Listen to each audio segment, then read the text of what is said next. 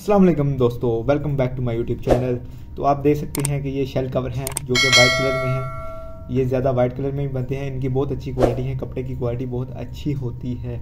ये देखें आप, कैसे तरतीब से लगाएँ। अब आप दिखाएँगे मेटल प्रोटेक्टर देखें, बहुत ही अच्छी क्वालिटी के पैकिंग हुए हैं मेटल प्रोटेक्टर और अब आपको ले चलते हैं हम बेड सेटअप की तरफ़।